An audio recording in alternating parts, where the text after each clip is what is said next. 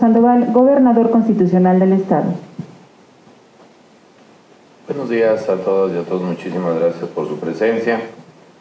Agradezco a los cuatro ganadores la invitación y bueno, va a ser un poco repetitivo, pero creo que es importante lo que han comentado mis compañeros.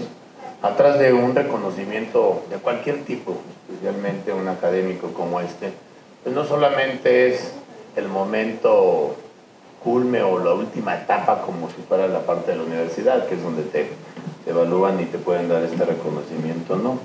Yo creo que hay un trabajo hacia atrás inmenso, inmenso, de muchísimos actores. En primer lugar, inicio el más de lo general o más particular. Hay un trabajo en la universidad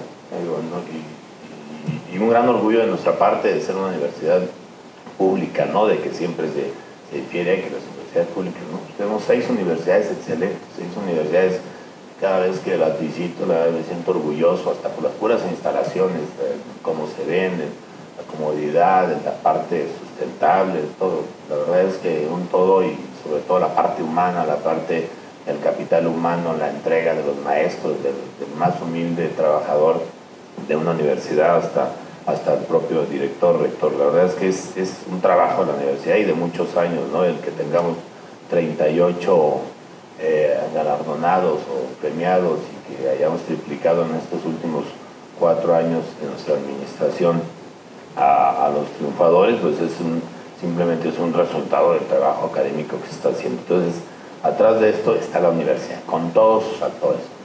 Atrás de esto, una edad de, de cualquiera de ustedes, Johan, por ejemplo, ¿qué edad tiene Johan? 22 años pues hay 22 años de sacrificio y esfuerzo de los papás. O sea, desde que nacieron, desde empezar su etapa académica de preescolar hasta ahora. Y es un trabajo de día a día de llevarlo, de traerlo. Todos los que somos papás, padres, lo sabemos. Y qué bien que, que Johan y seguramente el resto de los compañeros deben de reconocer eso y para siempre, no en este momento de de la medalla, sino siempre entender que hubo una guía, un sacrificio, una mamá, un papá que ahí estuvo, que desde pequeños hasta ahora se sienten orgullosos, sin duda de que ese trabajo como padres lo hacemos con muchísimo gusto y sin esperar recompensa, más estos momentos que te pagan todo, ¿verdad? Entonces a la familia también muchas gracias.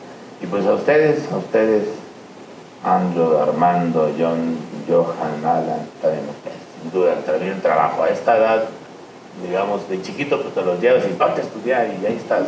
Pero a esta edad, pues por mucho que hables, pues te puedes mandar a carajo, ¿no? Pero cambio ahí está un sacrificio. Es un sacrificio, es una disciplina, es un tema de formación que se da desde pequeños, porque tentaciones a esta edad hay muchas. Los antros y todo, y te aseguro que para poderte meter alguna investigación de ingeniería, pues tuviste que sacrificar un día algún día o muchos tuviste que sacrificar estar en la, en la madera, en la venustiana, en las Américas o en Colosio. Y ese también es un tema de reconocimiento, ¿cierto? La juventud es para prepararse, para divertirse, pero tienes que buscar ese equilibrio porque pues, muchos de los jóvenes pues se la dean más a lo más padre, que es, la, que es la diversión, ¿no? Y también la juventud, sin duda, es para servir. Y ahí es donde se aprende a servir para que el resto de la vida realmente seas un gran ciudadano y eso es lo que se va formando. Con estas tres instituciones tan importantes como es la universidad, la familia y ustedes, como, realmente como persona que quiere destacar y que quiere aportarle al país y al Estado, pues el ganón es el país y el Estado. Nosotros requerimos sin duda eh, estudiantes egresados de estas universidades que si bien tienen una medallita de excelencia, también tengan una medalla de excelencia como persona. De nada me sirve Aguascalientes y a México, un chavo que sea de 10, que conozca toda la parte académica, si al final lo tenemos con problemas de conductas antisociales, en una amenaza de drogas y de exceso de alcohol.